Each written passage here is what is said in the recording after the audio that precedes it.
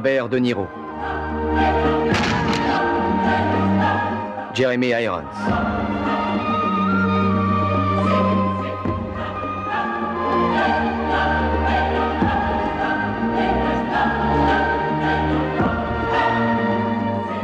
Le nouveau film du réalisateur de La déchirure.